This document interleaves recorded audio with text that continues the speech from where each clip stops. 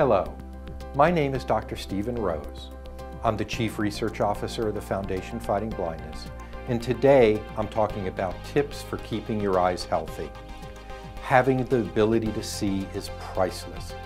We use our vision every day in everything that we do. Our sight allows us to fully experience the world around us and enjoy the visual beauty of life. Natural wonders like the Grand Canyon and incredible feats of engineering like the Eiffel Tower. Our sight also gives us great independence, like the ability to drive a car or fun escapes like watching a movie or reading a book. It also keeps us out of harm's way. But while we use our eyes constantly, we often take our vision for granted. Our eyes are one of the most complex organs in our body.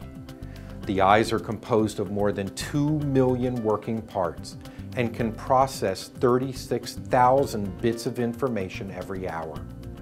In addition to being complex, our eyes are also very delicate.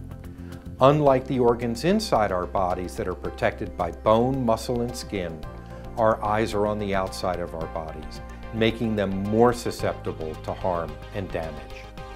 The good news is that there are some very simple things that you can do in your day-to-day -day life to protect your eyes and keep your vision for life.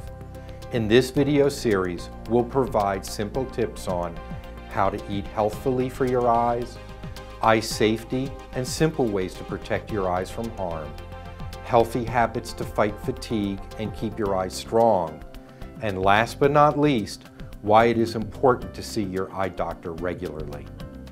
By following these healthy eye tips, you can enjoy good vision for a lifetime. But before we get started, let me take a moment to tell you about myself. I'm the Chief Research Officer of the Foundation Fighting Blindness, a nonprofit organization that is leading the charge in finding preventions, treatments, and cures for vision loss and blindness caused by different eye diseases.